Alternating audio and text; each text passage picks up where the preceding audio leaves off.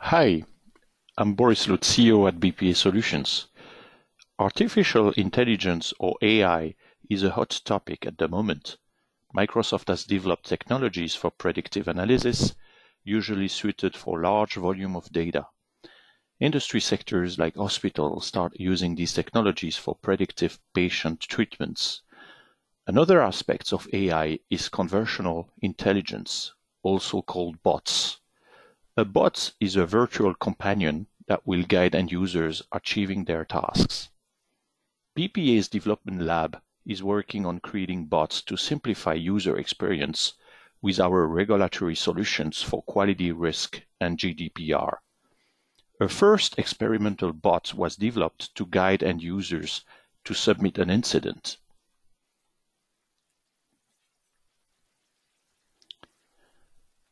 I'm currently using my mobile device and open Microsoft Teams, which is part of the Office 365 tools.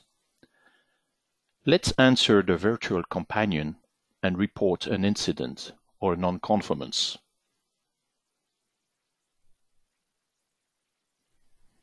This is a customer complaint. And I will type a description that package was broken.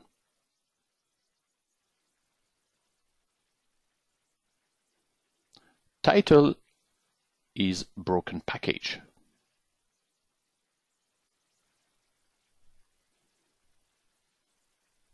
It was discovered today.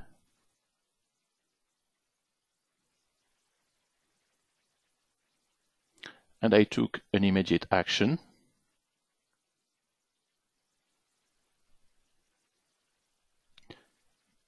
to replace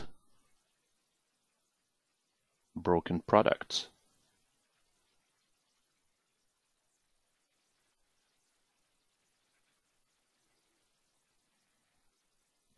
The title is Replace Products.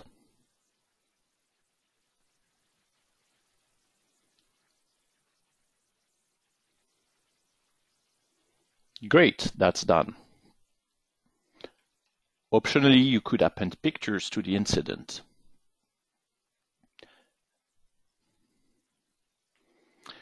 The incident is now logged in the BPA Quality app and the workflow has automatically started. Concerned users have been alerted for qualifying and investigating the incident.